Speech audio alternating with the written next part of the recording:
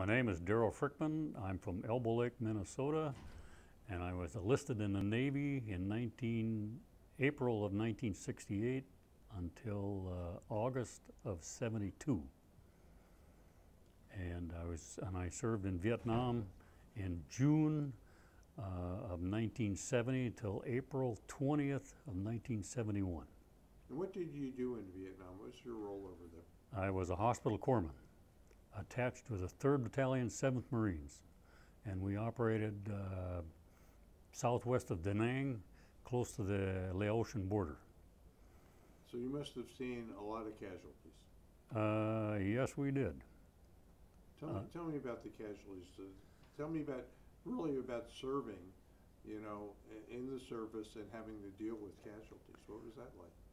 Well, one thing about it, if you're the if you're the medic out there, you know, it's it's hard to treat them because you're getting shot at at the same time, and then uh, you always think about uh, sanitation. Well, there's no sanitation because you've been out in the bush for weeks at a time. You're dirty, and you start IVs and that, and you patch them up, and then uh, and uh, and the but to me, it's a lot of uh, teamwork because the the radio man is calling in for the helicopter to come in, and then when the helicopter comes, we got to let him know if their area has got a hell is a hot LZ or it's cold, whatever. But those guys, they fly right in and land, and then we got to go somewhat secure place, take that uh, medevac out and put him in the helicopter, and out he goes, you know. Now, you're operating by yourself when you're out in the field? I mean, you, there's one medic or there are multiple? No, there was there was two medics in each platoon of, of 40 guys, and when we went on patrol, uh, the other guy's name was Pat uh, Jessup from Blessing, Texas, and we would switch. One would walk up front, and the other guy we never stayed together. The other guy was on the backside. See, but now when we went out into the to re, uh, to uh, relieve the guy that was there, the sergeant told us. He said, in a combat situation, there's three people they want out of the way first the lieutenant, the radio man, and the corpsman. You know, so well, thank you very much. Because our life expectancy, he said, was about 20 seconds. So, well, but we, uh, but we, we had guys that stepped on booby traps, we got mortared, we got shot at by snipers, uh, we got shot at from villages. But the one thing that I've said that we never ran into was a large number of NVA or Viet Cong thankfully. But Yeah, I was wondering if you, if you guys would have been targets. oh yeah, there was there was a price if if if the if the gooks they said if you kill the corpsman, they would get there was a bounty on our head. You know, and when and when when we walked uh, through a village or something like that, all the all you would see was old people and little kids, and some of the little kids they go peace, you know, and then some of them would flip you the bird, and, and then the next one would come along and they'd say, Chow Boxy. Well, Boxy is doctor in Vietnamese. So they knew who the medic was. You know, well, the guy said we are supposed to take our uh, Unit 1, which is a pretty big thing, it weighed about 12 pounds, and they said you have to disguise that. Well, how are you going to disguise that thing? You know, but if we stopped in a village uh, for a rest or whatever, then the little kids would come, they'd be right around me, and they want to get treated because they had all their sores. Well, you couldn't give them any pills because they wouldn't take them. So all you could do is probably give them a little salve and that stuff, you know. Um, but but the little ones, you know, the first thing I would have liked to done is taken the, the, the rags that they had was was nothing, burn it, and clean them up a little bit. But you couldn't do that either. So I had one little thing, and I called it. It was a in the uh, aseptic uh, bottle, and if you're familiar with mercurochrome, okay, it burned a little bit. So I'd come out and I was going to put that on some of these little kids, and they go, "Oh, Boxy, uh, number ten." You know, number ten was bad, number one was good. See, they did. They knew what that stuff was. They didn't want nothing to do with that. You know, so. So I said, well, we'll, I put salve on it and whatever, you know, and then we walked on, you know. And, but Now, I always figured uh, a medic had a, a Red Cross on his helmet. no way. Nope, and the helicopters didn't either. Nope. No, we didn't have any, uh, and I, and as far as, uh, and most, some of the guys, my weapon of choice was a 45. Well, I figured if there was, if enough going around, there was an M16 someplace, I would carry that, so I had enough other stuff to carry. But when we went on patrol, we would get out in no man's land, and then we'd set up uh, a company size or platoon size, our NDP, which is a night defensive position. And then early in the morning, we'd go out on patrol, probably six or eight of us. And one of the guys from uh, the mortar squad would give me his 16 and a bandolier. So I carried that. And then I also had a bandolier of, uh, of uh, bandages, easy to get at to. And each Marine better have a bandage. And I told him, I said, if we run out and you don't have one, you're SOL, but not, you know, but so that's what we did, and then I carried a 16 also. Then I'll, then I then I downsized my Unit One, because I could carry stuff in my pockets and things like that, you know. I didn't realize that the medics were armed. Pardon me? I didn't realize medics were armed. Oh yes. Well, there's probably some that don't, but yes, I was armed. like I told my dad, I had 42 well-armed bodyguards, you know, which is, but So you said you didn't get shot at that often, is that correct? Well, it, not every day, but yeah, we we'd get shot at, you know. And and then I'll tell you an incident. We were on patrol one day, and we came up to a village, coming across the rice paddies, and we got lit up. So we were pinned down in a rice paddy. So our radio man he calls back to the rear to get fire support, and then I could hear him cussing and swearing over there. And when he got all done, I said, "What's the matter?"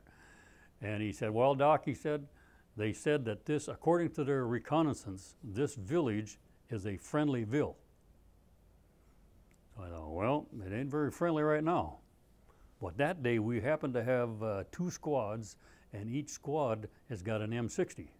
So the first squad, they popped up on the dike and they shot up the village, and we went the other way over the dikes, set up, and then we, we backwards got away from it.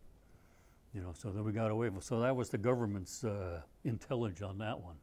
But it happened on a different village, and then we fired that one up. We had a helicopter come in and got us out of that one. But you know, two different situations.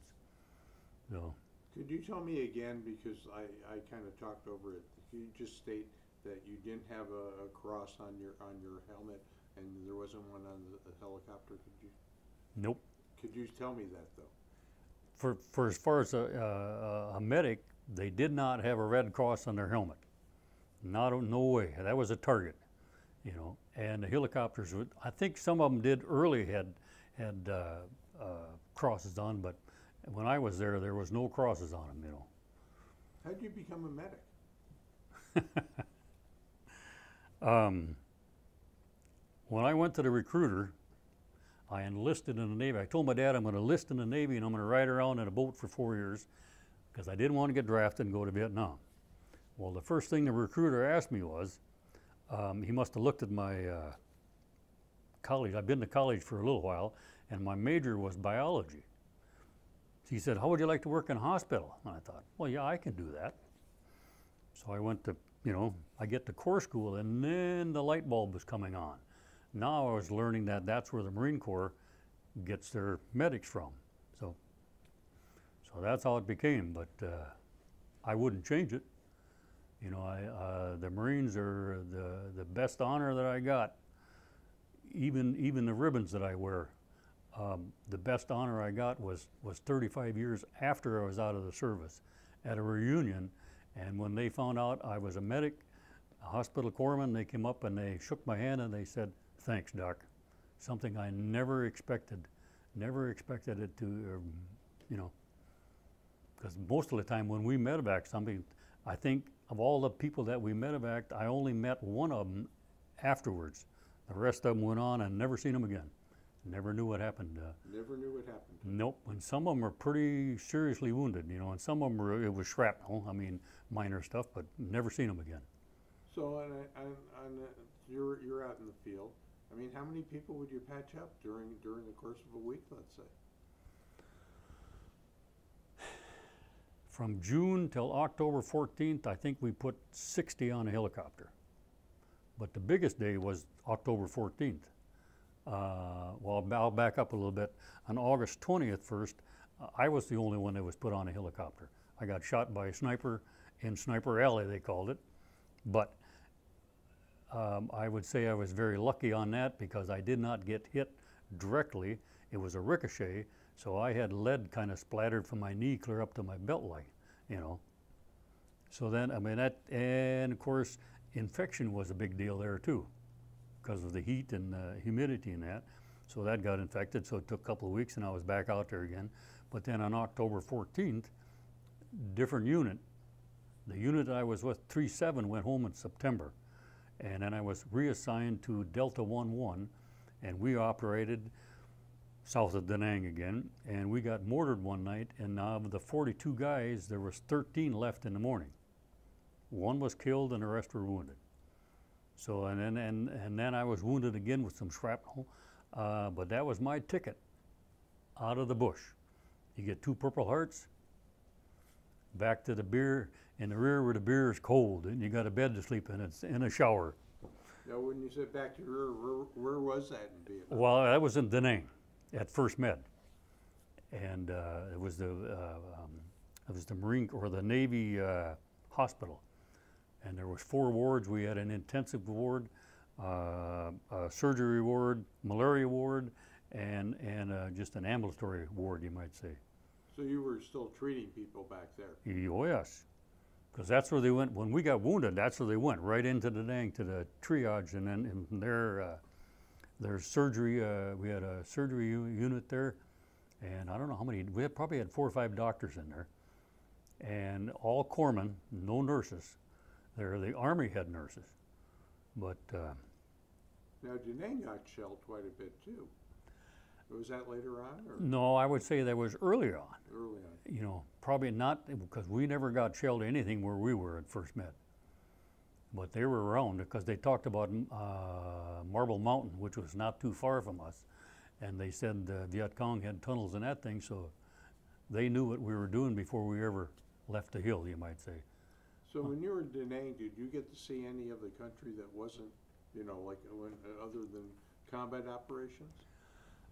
I did a little bit. I went to uh, China Beach, and I went swimming out there twice. And I was out there one time, and there was a guy sitting on a tower, and I asked another guy. I said, "Well, what's that guy doing?" Oh, he's sitting up there. He's watching for the sharks in China Beach. There, I said, "I'm done." so no, and uh, other than that, I did not. I did not go any touring around out there. You know. Because once you left First Med, the compound, you weren't supposed to carry a 45 or anything. And I like to have a weapon. So I had a, I had a shoulder holster right here. And my 45 was right here with my jacket over the top, and nobody knew I had it. But I had a 45. Did you meet many of the Vietnamese when you were over there? You mentioned being in the village, but did you meet many uh, Vietnamese? Oh, yeah. What do you think? Well, you, you know, well, you couldn't you couldn't speak their language, but in, in the villages, it was it was all older people, old papa sons and mama sons, and then little kids. And then the thing we found out too is we come into a village, and there was some uh, uh, well-dressed young ladies. We were on high port because the Viet Cong or the NVA were not, not very far away, Just hang on. Yeah. incoming. I think that's pinochle. Okay. So tell me about the villages again. I think you told me about the young people, the old people. You were starting to say about the, the ladies. Well, you know, because there was there was hardly there was never young ladies in, in a village, and if there was, we were on high port because the Viet Cong, their girlfriends, wives, whatever, or the NVA. I mean, they were close. You know, so that's one thing that we we we uh, were very uh, attuned to, you might say. So we just get out of there, and, and, and sometimes it seems like when they were there, when we left, we got shot at you know. And and then there was always the little kids, you know. I just I felt for, sorry for those little kids, you know, because they were they were dirty and uh, uh, well, they lived in a thatch hut, you know. And when you walked out of Da Nang was bad enough, but when you got out there, it seems like you were 200 years behind. You know, and that's just the way they were. And then, and then, uh, and in, in each village, another thing we ran into, they have water buffalo. Now that's their horsepower, you might say, for farming. And those buffalo did not like Marines. For the smell, I don't know what, because you come in there and they'd have them in a little uh, corral, you might say, and you could you, you could just hear them. They'd blow their snort, blow their nose, you might say. So we just. And there was one time when we were on patrol, on a road, and here was a little kid out there working in the rice paddy with his buffalo, and as we got further down the road, between us and the uh, buffalo was the calf laying on a little mud pile out there. Here comes the buffalo up on the road, and there was Marines flying out into the mud and cleaned everybody off the road, you know. And of course, our lieutenant, or our, our not our lieutenant, our uh, sergeant, he said, "Keep your rounds up. Don't kill the buffalo." He said, because they would pay more for the buffalo if we killed it than if a kid got killed. So, but they didn't like us, so You must have slept in the jungle a lot. yeah, I did. What was that like? Well, let's say uh, it's like going camping without a tent, you know, and it's hot and humid, and you never took your boots off. And we were out there. We were supposed to go from the hill, our fire support base, you might say, for maybe up to a week, and then we'd reto- rotate back. Well, that never happened.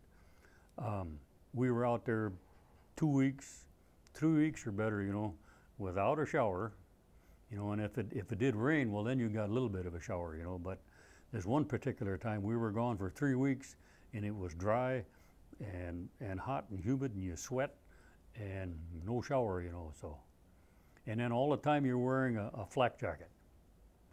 So if you ever want to see what it's like, you weight down your uh, Carhartt vest, so it weighs about six to eight pounds, and then in July when you're working in the yard, then wear that thing all day. It's kind of warm Why did you never take your boots off? because if you get shot at, I mean, you can't run with barefoot, you know. So you leave your shoes on. The only time I, I, the first time I was in the bush, I took my shoes off. But after that, I never took my boots off. I, I thought you were worried about snakes. No, the snakes got out of the way. But there were snakes. There was a, there was a green uh, viper. They called they called it a two-step snake because he said if you get bit, about two steps you would die. Well, uh, not quite that fast, but, but there were snakes out there, and did, there. did you have to treat people for snake bites? Yes, we had one guy that got snake bit. Put him on the helicopter, and he was in Danang in a hurry. So, Did the helicopters come pretty quickly? oh yes, they would come in. I mean, they were very those helicopter pilots. I admire them. I mean, they were quite the crew. Um, in fact, uh, I know three guys that were helicopter pilots. Guy, one guy I went to high school with, he was a helicopter pilot, shot down in Cambodia. Another guy from uh, that I just met, this, well, I knew about him before, but this last weekend, he was a helicopter pilot. He was shot down. And my fertilizer guy was the helicopter pilot, uh, but he he hauled supplies. He said, but he always tells me he had the best seat of the house. And I said, you probably had the hottest seat of the house when you fly into that garbage. But uh, they were they were crazy. I mean, the guys, uh, the guys, the gunbird guys that come in. I mean, they when you called them, they were there. If we had a medevac, medevac, um, we would get either sometimes a Huey come or a couple of them, or we would have a, a, a Cobra, the smaller version that the guys sit uh, one in front of the other. But you know, they were really loaded up with firepower. I mean, they they could put some lead out in a hurry, you know, and and, and that was the deal. They would they would uh, circle the perimeter where the where the LZ was, and then once they got established that, then we'd go out and put the patient on the helicopter, and off they go. So, You seem pretty comfortable talking about your experience in, in Vietnam. Has it always been that way, or is this something new for you? this is something new. And I. Uh, it probably took me 35 years or more before I never talked about it. I, when I have, somebody asked me something, I said, yeah, I was in sunny Southeast Asia. I never called it Vietnam. That's it. But now finally I do, you know, and, and uh, but it's still, I can, it, uh, it's still there. You know, I can, I can say I, I left Vietnam uh, April 20th, 1971, but Vietnam never left me. It was always there, you know, it talked about it, you know, and uh, different things, uh, loud explosions, um, things like that. I mean, it, it some, uh, sometimes if I'm expecting it, that's different. But if it's all of a sudden, you know, that, uh, and when I got back from Vietnam, I mean, I was a, a kid that liked to hunt. And I met a guy in, and I was stationed in uh, Omaha, Nebraska. And he was a hunter, so we went hunting one day. Well, luckily he was on the other side of the hill because he shot at a squirrel or whatever it was while I swung over and I did not shoot, but I was ready to shoot. And I thought, I gotta, I gotta watch this, you know. And since then, I mean, I, I've done a lot of hunting since then, but, and, and that problem is not a problem, you know, but, but, It's been surprising the first time though. yeah. I, I did. so, So why you, why all of a sudden you're, you, are you talking about it now? Did something change or? Yeah, when we went to the first reunion, which was in 2005, and then I met what with guys. There was three guys that were there the same time I was. One was the radio man, and the other guy was uh, in third platoon or whatever, you know. So we just got talking about this, and then the, all the other guys. I mean, we just we shared uh, experiences, and we uh, we were not as young as we used to, but we didn't party like we used to. But at one at these reunions, that's that's that's a no-no. You don't because they want uh, to get a good uh, rate at a motel or whatever. They don't want a bunch of wild and crazy Marines tearing up the place, you know. So that was a deal too. But after that, I mean, it it I talked more about it. You know, it's, it's something I never talked to about before. But Tell me about partying as a Marine. Did you do much of that when you were in Nam?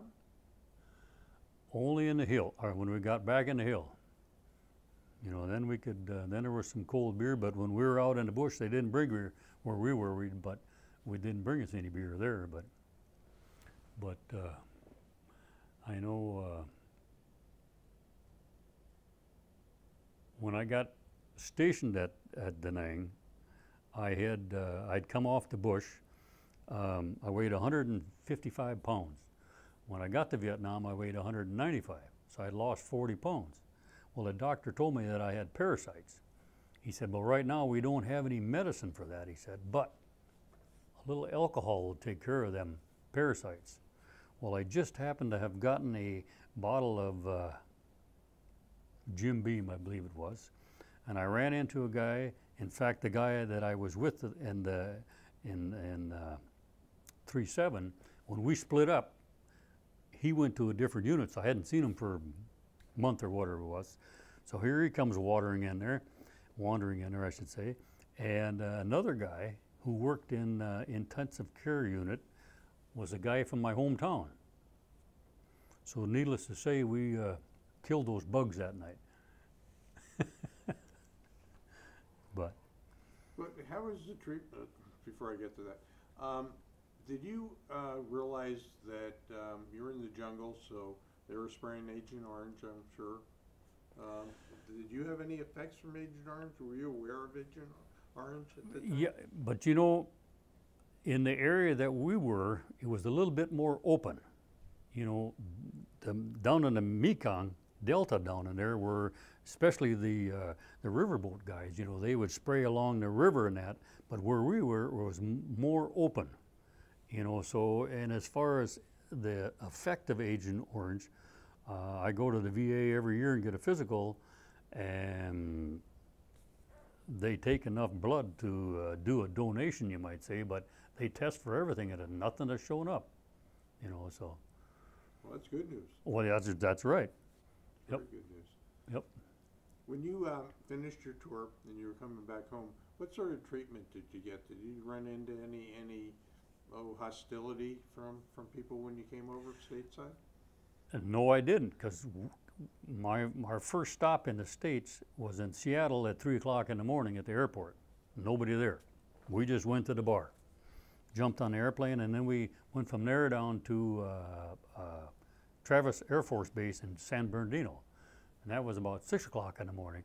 And there were some people there, but that was the family of the young guys coming home, you know. So that there, I had no uh, hostility against me.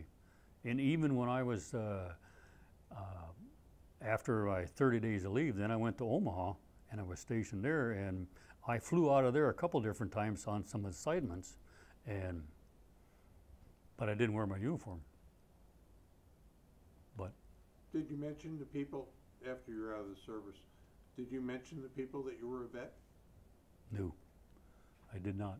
I didn't. Uh, um, I just came home and and uh, went back to the farm in Minnesota, and I started working. And there were some guys that wanted me to join a Legion, but at that time it, it, it took me probably 12 years before I joined the Legion. I was a little bit. Uh, I didn't want nothing to do with the government. Put it that way, you know. And I've been in the Legion for is 35 years now or whatever. But but yeah, it took a long time to to to do with the with the military, you know, anything. But but now I do uh, Memorial Day.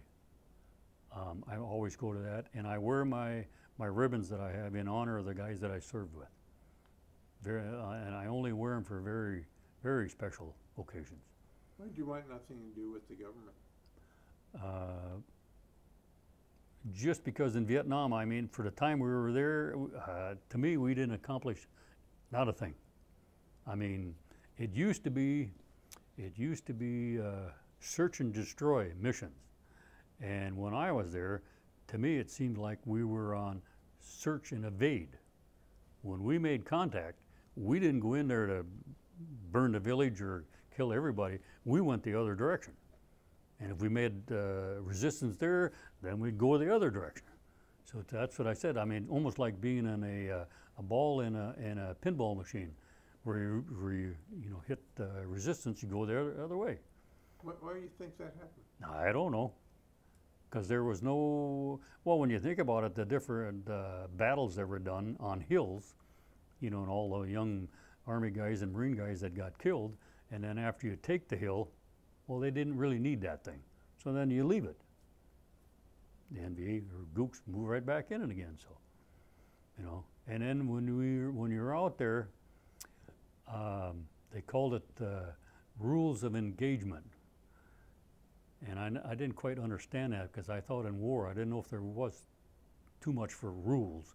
It's either kill or be killed, you know, is the deal, you know. But, but that's the way they worked on it. Of course, the NVA and, uh, and, and the Viet Cong um, would come from the west, either Cambodia or Laos.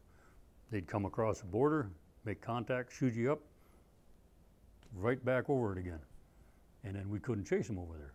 But there was a couple different times when I was with uh, 3-7, we were in Laos for a while, and then we walked in and walked out again. Didn't make any resistance in there, but I'm sure there wasn't a border with the little painted line on it. either. no, that's what the guy said. You know, when we're on patrol, the guy said, "Well, right now we're in Laos." He said, "Well, it looked just it looked the same over there as it did over here, you know, but but that's the thing. But that's where the Ho Chi Minh Trail came down through there, and they and then they tried to bomb the Ho Chi Minh Trail, but they could fix that thing just as fast as we could blow the daylights out of it. It didn't seem like it did any good. Now, what, what did you think when you were there in Nam or you were just out of, about the protest movement that was happening over here? You know, I sympathize with the, with the mothers and the, and the families. I mean, they want their sons, their husbands in that home. But those idiots that were in the airport, when they would spit on the guys that would come there, you know, and then they're wearing their uniform, and different guys that said they, they were ashamed to wear their uniform. They didn't go over there with the idea that, uh, you know, they called them baby killers and that, you know, but, but they, they got orders to go over there. You know, they, they were drafted and they were sent over, and then they, they did their job and they survived a year's worth of it. And then they come back to them idiots. You know, they probably should have packaged up a few of them and sent them over there, and they wouldn't have done any good because they, they were too stupid. they'd probably got, they probably would have got more people killed, you know, because the idiots won. They were, but You gotta have people watch your back, so. that's right. Now, did you ever use any of your medic training after you got home? When you went back to the farm? Yes, I did. I, I did it. I had, uh, in fact, I, I, uh, I had a surgical kit, and I, uh, I did a little surgery on. I raised pigs for many years, and sometimes when we did the, uh, I needed to do a little suturing, and yeah, I did that. You know, but as far as, uh, um, well, my wife and I went to a refresher course on CRP, uh, CPR, excuse me. Um, CRP is a totally different thing. that's right. I know the difference, but but anyway, we did that. No, that that was that was too soon for me, you know. That I, I could never do that, and it just happened here probably five years ago at, at a at a uh, our friend's graduation, and a guy came in there, and he didn't look very good, and he sat down on a chair, and pretty soon he just boom, fell over, you know. And Greg says, I need some help. And I thought about it a little bit, and I said, Yep. I went over there and we started doing uh, the chest thing, you know, and we kept him going till the EMTs got there, and he's still around. So, but that's that's the extent of it. I didn't. Uh, What, what are your, what are your, well, I guess, lasting impressions of Vietnam? Uh, do you think the Vietnam War changed America the way it is today?